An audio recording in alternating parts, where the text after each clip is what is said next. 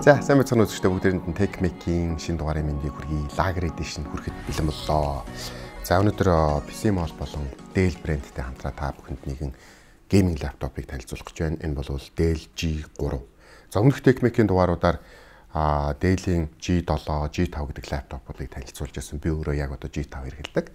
Тэгэхээр G3 гэх юм бол илүү одоо нөгөө гаднах хэлбэр хийц загварын үед G5-тайгаа нэлээд төстэй. Гэхдээ мэдээж бас зарим зүйл нь байхгүй арай нэг ондоо юм байгаад байна л да. Зүгээр гадаас ингээ харахад хамгийн ихэнд одоо мэдээж байгаа зүйл гэх юм бол энэ дээдлийнх нь cover нь арай нэг өөр материалаар хийгдсэн байдаг. Энэ G3 гэх юм бол илүү бүрсгэр одоо мат материал юм шиг те. Ийм юугаар материалаар хийгдсэн бол G5 нь илүү тийм гялтгар glossy байгаадсэн л да. Яг гоо энд одоо зүгээр илүү давна гэдэг юм бол хурууны ихэ бас нэг тэгж татахгүй байгаад байна. Ийм одоо барцар материал учраас. За та бүхний харж байгаа энэ G3-ын үзүүлэлтийн хувьд гэх юм бол 10 дугаар үеийн i7 8 ГБ-ийн RAM 512 ГБ-ийн SSD график картны гэх юм бол GTX 1650 Ti дийлэгцэн 120 Гц-ээр ажилладаг юм байгаад байна л да.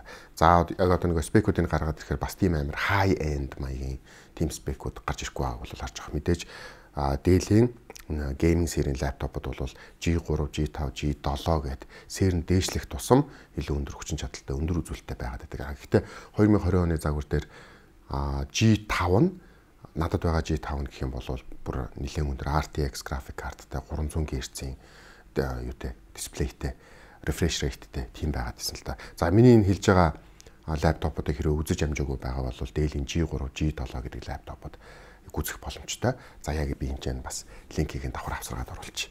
За оролтуудын input output-ийн хувьд гэх юм бол зүүн талаас за адаптерын цэнгэлэгч ордог хэсэг байна. HDMI гаралт байна. Full HDMI. За тэгээд USB Type A, Ethernet оролт байна. Лангийн оролт гэж ярьдаг. Тэгээд USB Type C оролттой.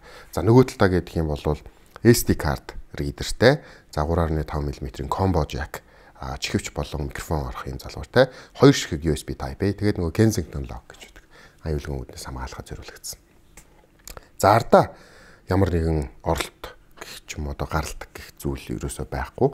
За лаптопыг нэгэд үзэх юм бол мэдээж keyboard маань доороосоо гэрэлтэн backlit өмнөх одоо G5 болон G7 гэсэн сэрүүд дээр байсан дээжлэхэн хурууны хээ уншигчтай. За тэр нь өөрөө бас давхар power button болж өгдөг.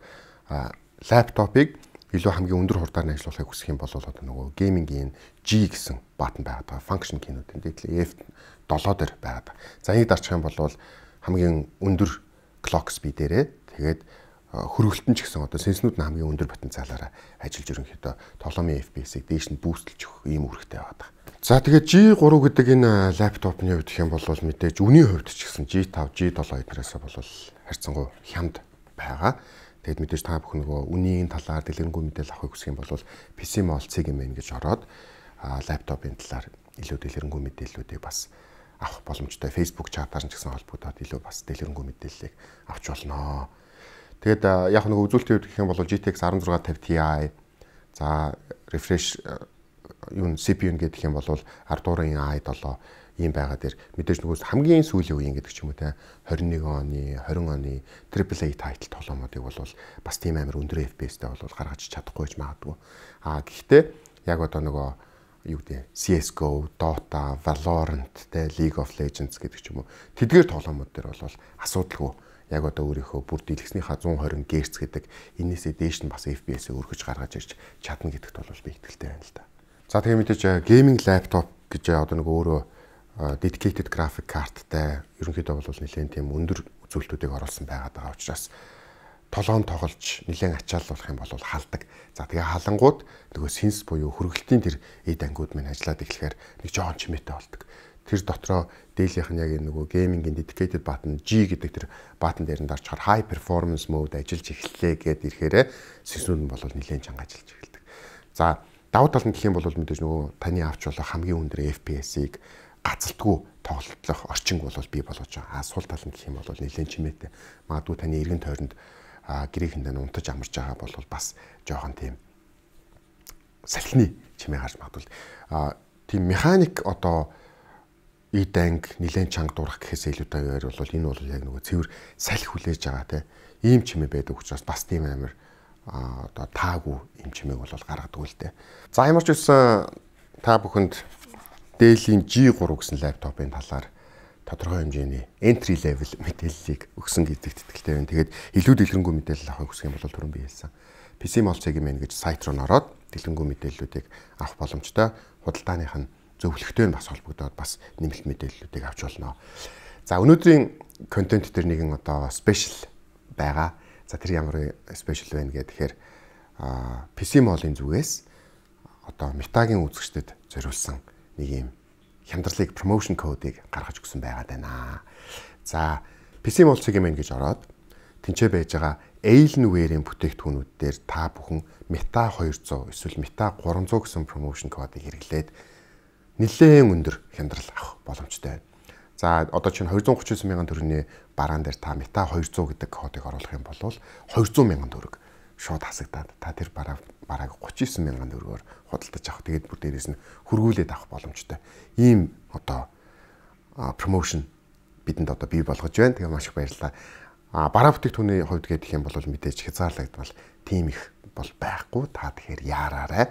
PC молцыг юм гэж ороод эйл нэрийн бүтээгдэхүүнүүдээс нь та бүхэн хараад сонголтоо хийгээд газ худалдаж аваарай гэж одоо хүсгээр байна. А Мета 200, Мета 300.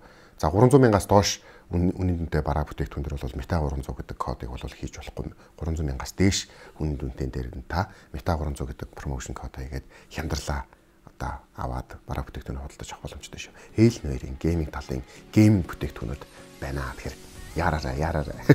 Янзын гоё одоо боломжийг бол бий болгож шүү. За тэгээ өнөөдрийн контент дээр хамтран ажилласан PC Mall болон Dell-д маш их баярлалаа. Dell-ийн G3, G5, G7 гэдэг гурван сэрийн лаптопыг та бүхэндээ танилцууллаа. Бүгдээрнгийнх нь би линкийг нь доор нь одоо оруулчихъя. Тэгээд та бүхэн G5 болон G7 үзхийг хүсэх юм бол тэндээс нөхөд үзээрэй. За таалагдсан бол лайк дарцгаарай. Бидний дэмжижүүл subscribe хийцгээгээрэй. Тэгээд дараагийн техник дугаараар уулзлаа. Түр баяртай үзэгчтэй. This. Thank you.